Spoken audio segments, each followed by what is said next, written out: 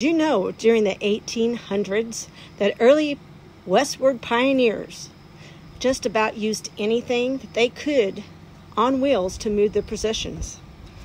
From beautiful old wagons to ox trains, they would carry their possessions